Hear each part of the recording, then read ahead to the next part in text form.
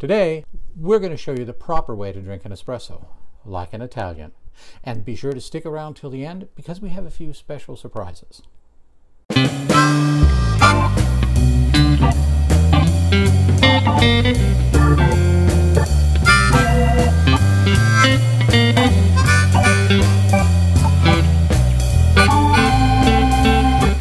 Buongiorno e benvenuto. Oggi andiamo a prendere come bere l'espresso come un italiano. Uh, sorry, I got carried away. Hello and welcome. Today we're going to learn how to drink espresso like an Italian. I'm Scott Fisher with Homegrounds, where our mission is not only to help you brew better coffee, but enjoy it right at home.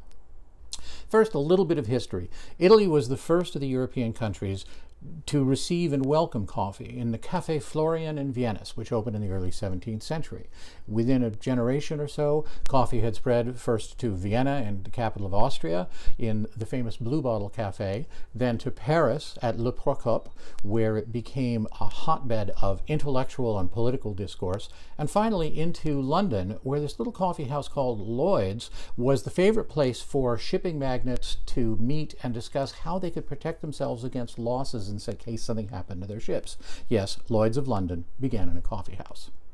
For the next 200 years or so, coffee throughout Europe was brewed in an immersion method, sort of somewhere between Turkish coffee, which is, after all, how the Europeans had discovered coffee, up to something very similar to a French press.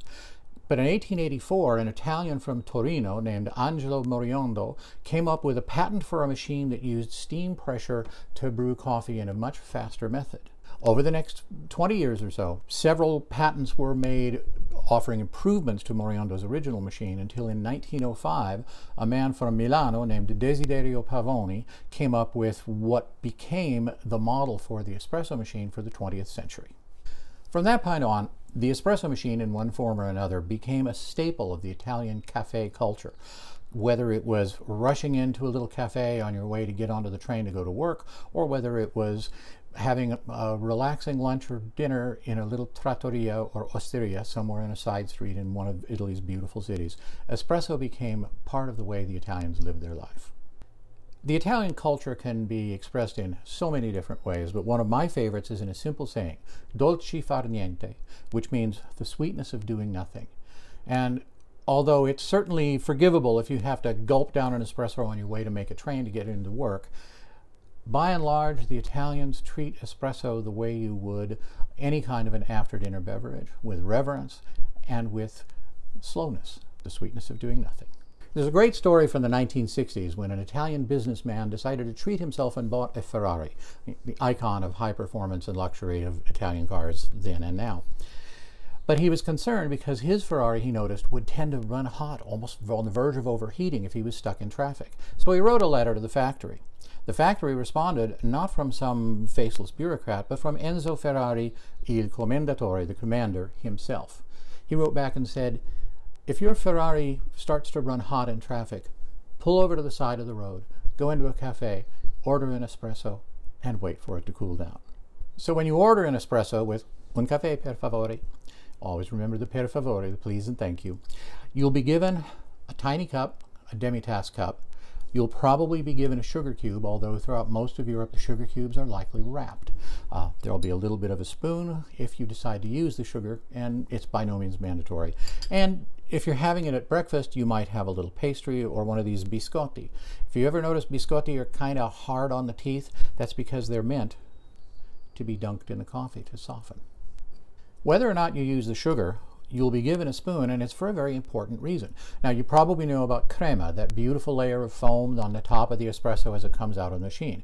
Crema is the result of the hot, high-pressured water going through not only the coffee and coming out with the dissolved solids and some of the fines, but also with the oils that are in the beans.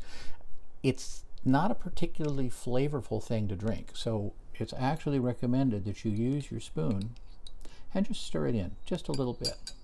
Then Take up your coffee. The cup should be heated before it's being served to you.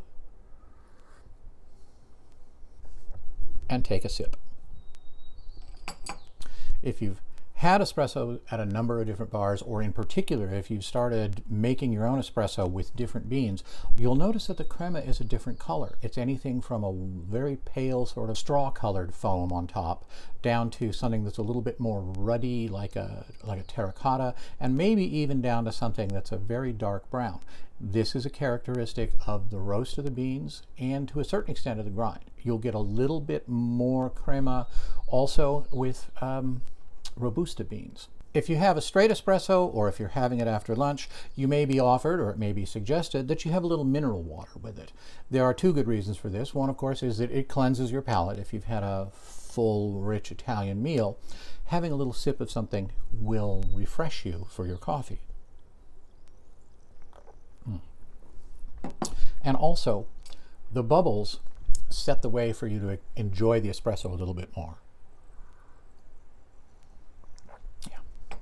In addition to the universal breakfast pick-me-up, espresso is also often served after lunch or even after dinner. And there's a neat twist on this that I learned when my wife and I were in Florence a few years ago. We stumbled on this gorgeous little osteria where there's a woman in chef white standing in the front window making ravioli for all the passersby to see. Well, we were hooked. We walked in, they handed us a flute of Prosecco on the way to the table. We had a fabulous meal. But at the end of it, when we ordered our espresso, they asked us if we would like cafe corretto. Cafe corretto, we asked. It means correct coffee. What is it? Turns out cafe corretto is an espresso into which you are given the option of adding some kind of little alcoholic zing. It's commonly grappa in Italy, where grappa is a very strong distilled spirit made from the leftover pressings from, uh, from wine. But it can be any other kind of a liqueur or even a cordial. Uh, Sambuca, for instance, is very popular. All throughout the Mediterranean, there are these wonderful licorice-flavored anisettes, like pastis in France and ouzo in Greece. Sambuca is the Italian version of it. But it may be anything. It could be an orange liqueur, or as we discovered at Osteria Pastella in Florence, it can be a house-made cordial flavored with um, pistachio or hazelnuts or even a little bit of carob. To make cafe corretto, you simply put just a little in your cup, as much as you like. Swirl it and enjoy. From its beginnings about 400 years ago in Venice to the latest cafes and bars in Rome and Florence and Milano and all up and down the peninsula, coffee has played a crucial role in Italian culture. Again, it's, it's really one of many ways that the sweetness of doing nothing, dolce far niente, is so representative of Italian culture. For more information on espresso, including espresso brewing machines and other ways of enjoying it, be sure to click on the link in our description. Do you have a favorite way of drinking espresso? Do you have a favorite set of espresso cups? Is there something that you'd like to share with us about the way that you enjoy espresso? If so, please let us know in the comments. And of course, as always, this is Scott Fisher saying, instead of my usual, how do you take your coffee? For today, it's simply, ciao.